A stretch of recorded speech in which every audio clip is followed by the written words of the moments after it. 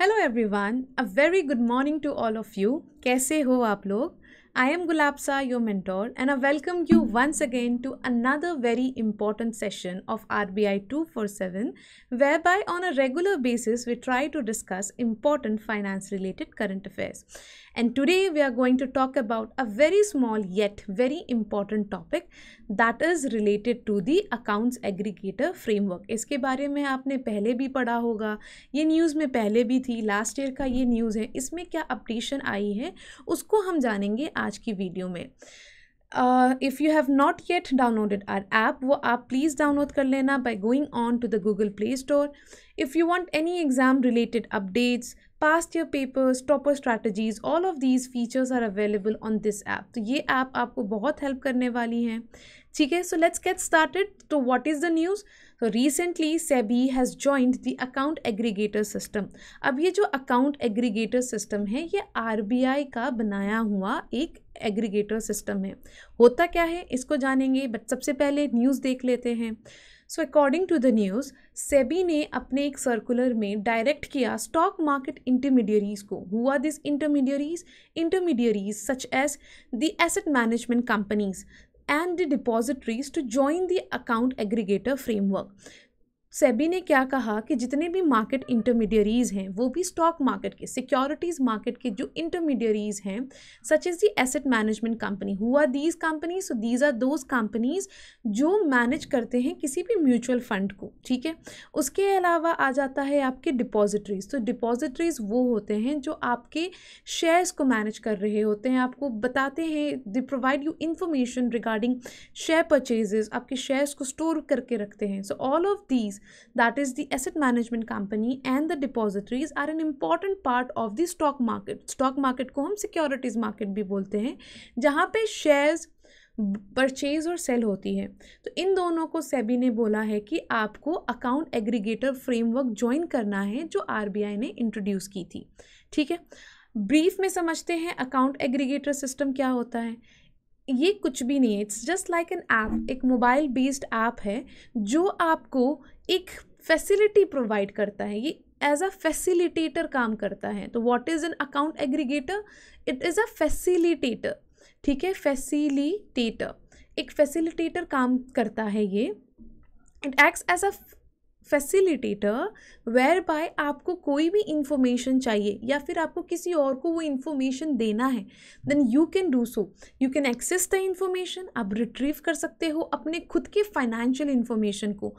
Plus you can also collect those information and you can also ask these facilitators that is the account aggregators to pass on those information to another financial users तो आप financial users को अपने information को pass on भी कर सकते हो but account aggregator खुद ये काम नहीं करेगा ठीक है खुद ये काम नहीं करेगा ये काम करेगा तभी जब आप अपना एक्सप्लिसिट कंसेंट देते हो ठीक है अब क्या होगा? एज सच इसके जब ए एम सीज और डिपॉजिटरीज ज्वाइन कर लेंगे हमारे अकाउंट एग्रीगेटर फ्रेमवर्क को then they are going to share the information for the purpose of being an account aggregator system और इधर क्या होगा? So you are the customer this is your financial information आपकी कुछ फाइनेंशियल इन्फॉर्मेशन है। What are this financial information अब financial information से हमें क्या लगता है कि हमारे बैंक के डिटेल्स होंगे। बस वही नहीं होते। फाइनेंशियल इन्फॉर्मेशन में आपके बैंक डिटेल्स आपने कभी कोई लोन लिया, उसके डिटेल्स आपने इन्वेस्टमेंट करी कहीं पर सपोज़ म्यूचुअल फंड्स में करी, उसके डिटेल्स उसके अलावा आपने कोई इंश्योरेंस परचेज़ किया हुआ है, उसके डिटेल्स आपने अपने घर खरीदने के लिए किसी एन बी एफ़ सी से लोन लिया, उसके डिटेल्स डिटेल्स इसके अलावा अब ये सारे ऑलरेडी अकाउंट एग्रीगेटर सिस्टम में एनरोल्ड हैं। अब आती है सिक्योरिटीज़ मार्केट की। अगर आपने कोई शेयर्स ख़रीदा है, कुछ ट्रेडिंग करी है, वो सारे डेटा भी अब आपको फाइनेंशियल इंफॉर्मेशन की तरह अवेलेबल किया जाएगा अकाउंट एग्रीगेटर के थ्रू ठीक है? ना let's move forward and understand अच्छे से कि अकाउंट एग्रीगेटर होता क्या है। सबसे मोस्ट इंपॉर्टेंट जो आपको याद रहनी चाहिए कि ये जो अकाउंट एग्रीगेटर है it is going to be an N B F C non bank finance company होने वाली है। दैट इज़ ये एक फिनटेक कंपनी होगी फाइनेंशियल टेक्नोलॉजी कंपनी होगी that will be regulated by R B I R B I in fintech companies को regulate करेगा। And these companies are going to act as a data sharing app ये एक तरीका, एक तरीके का डेटा शेयरिंग ऐप होगा जो आपको सिक्योरली और डिजिटली एक्सेस देगा आपके खुद के फाइनेंशियल इंफॉर्मेशन को in the a in the account aggregator network ठीक है? अब देखो क्या क्या डेटा देगा? So this will contain your tax data pension data securities data insurance data mutual funds के डेटा ब्रोकरेज के data all of these datas will be provided तो अब देखो अकाउंट एग्रीगेटर काम कैसे करता है? कंजेंट की बात मैंने आपसे ऑलरेडी कर चुकी हूँ।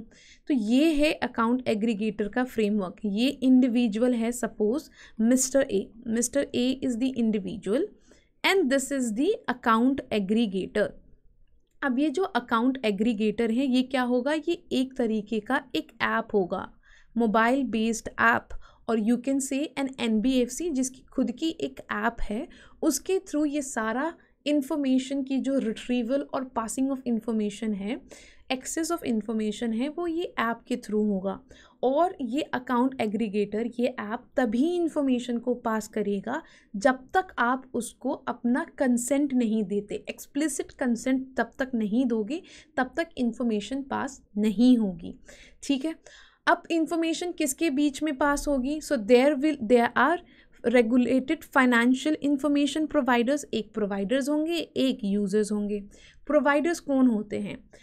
आपके बैंक डिटेल्स कौन प्रोवाइड करेगा? आपका बैंक तो your bank is going to be your financial information provider अगर आपने टैक्स वगैरह पे किया है देन द टैक्स फाइलिंग जो प्लेटफॉर्म है जी एस टी प्लेटफॉर्म है that is going to be your financial information provider उसके अलावा आपने म्यूचुअल फ़ंड ख़रीदा तो म्यूचुअल फ़ंड हाउस हो जाएँगे।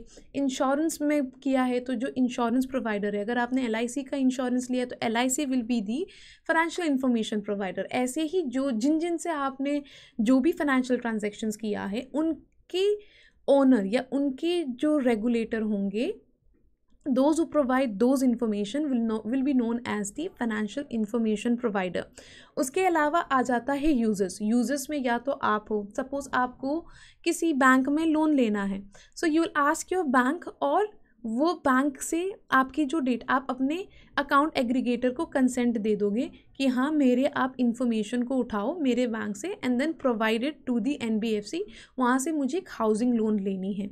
ठीक है? तो यहाँ से सारा इन्फॉर्मेशन उठ के इस एन बी एफ़ सी को दे दिया जाएगा। तो यूज़र्स वो होंगे जिनको आप ऑथोराइज़ करोगे कि आपकी जो फाइनेंशियल डेटाज़ हैं, वो उस तक पहुँच पाए। ठीक है? तो चाहे बैंक हो गया एन बी एफ़ सी हो गया, आपका पर्सनल फाइनेंस मैनेजर हो गया, या आप खुद, आप जिसको चाहोगे कि वो इन्फॉर्मेशन मिले, आपके फाइनेंशियल इन्फॉर्मेशन मिले, वो आपका फाइनेंशियल यूज़र बन जाएगा। ठीक है?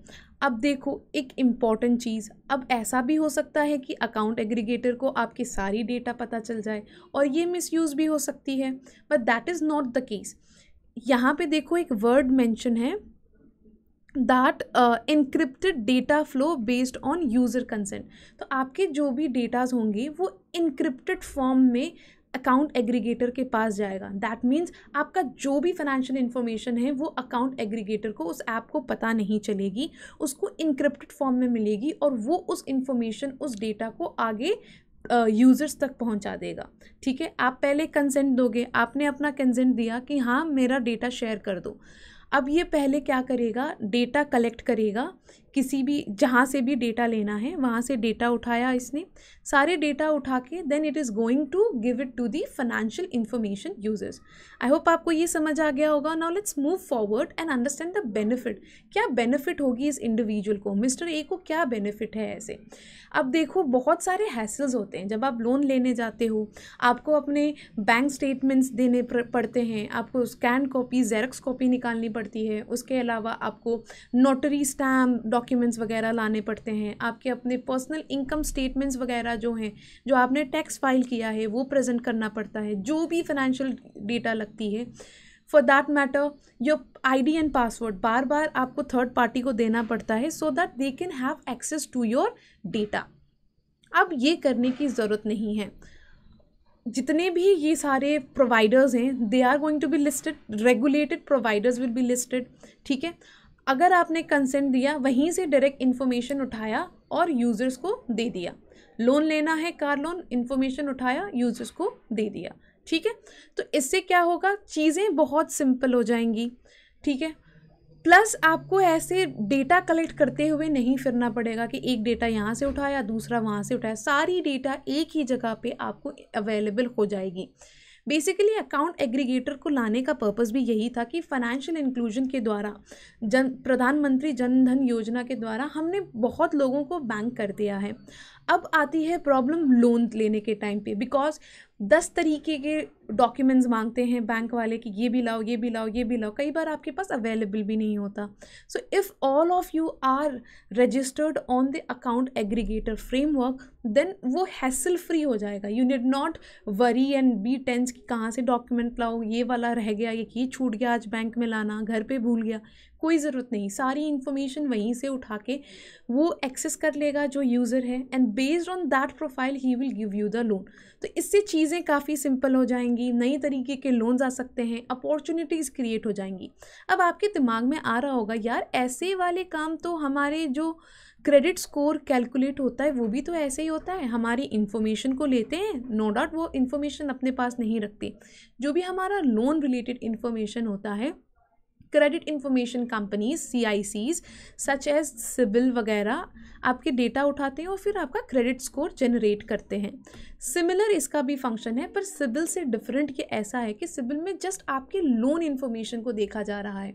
In case of account aggregator framework आपके सारे इन्फॉर्मेशन इंश्योरेंस इन्वेस्टमेंट्स या फिर आपने कोई शेयर खरीदा, कहीं और वेल्थ मैनेजमेंट करा आपके टैक्सेस आपने कितने पे करे? All of these will come under one framework और बैंक को भी जो आपकी फाइनेंशियल क्रेडिट वर्दिनेस को नोटिस करने की कोशिश कर रहा है असेस करने की कोशिश कर रहा है, उसके लिए बहुत ईजी हो जाएगा।